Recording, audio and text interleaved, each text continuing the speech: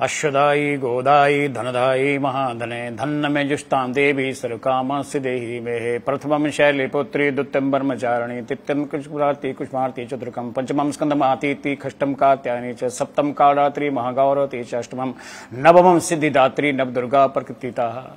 नौ देवियों में से कालरात्रि का माता का नाम आता है। आज वीरवार दस तारीख सप्तमी तिथि धनु राशि का चंद्रमा। जैसे कल हमने कब आपको बताया था कि बुधवार को धन राशि का चंद्रमा है, इसी तरीके सूर्य उदय का बड़ा ही प्रभाव होता है कि कौन सी राशि में, कौन से योग में, कौन से बल में हुआ है। हमारे पंचांग में पाँच चीज़ें हम लेते हैं।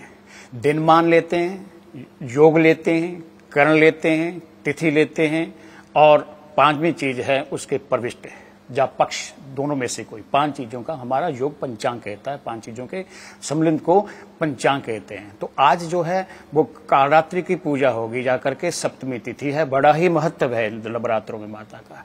जिन लोगों ने सात दिन व्रत रखा है, आज सायकाल जिनके भ्रगों के अखंड पाठ हो रहे हैं, अखंड ज्योति जगी हुई है, सायकाल में जिन्होंने दुर्गा सप्तती का पाठ किया है ये व्रत रखा है, आज सायंकाल में सूर्य अस्त के बाद आज अपने अपने घरों में पूजा, आराधना, अर्चना करेंगे। काल रात्रि की माता की पूजा करने से व्यक्ति को हर जगह बीजे ही बीजे ही बीजे प्राप्त होती है।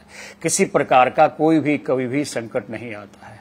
धन राशि का जे चंद्रमा होने से और बृहस्पति बार होने से व्यक्ति को जो चाहिए कि पीला वस्त्र धारण करे माता की पूजा, आराधना, अर्चना करे, केले का भोग लगाए, शक्कर का भोग लगाए, सुबह उठ करके आरती करे बंदन करे, दुर्गा का पाठ करे, जितना वो कुछ कर सकता है अपनी तरफ़ से।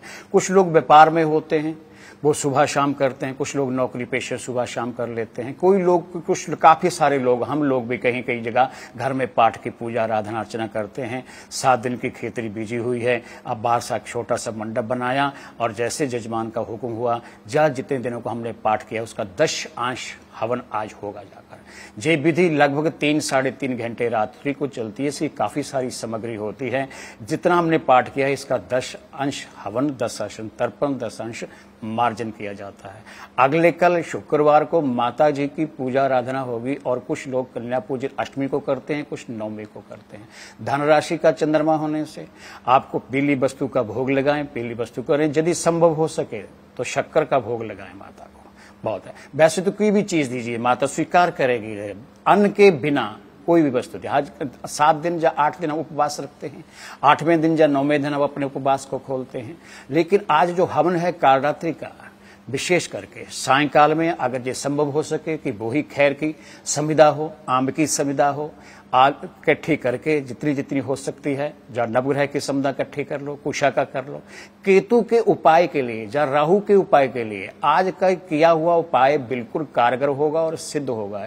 जिसको इन ग्रहों की दशा है या अंतरदशा है या पीड़ित हैं, जिनके ज्वाइंट पेन रहते हैं या किसी प्रकार का तो वो खीर से हवन करे या घी से हवन करे, मंत्र को याद रखना है। रोगान शेषा पहंसी तुष्टा रुष्टा तु कामान सकलान भिष्टान तुमाशिताना विप्रणाम तुमाशितमश्यताम परंती दुर्गा में, सप्तशती में सात सौ मंत्र हैं। सात सौ मंत्रों में से कोई एक मंत्र लीजिए, उसके बीच में चलाइए।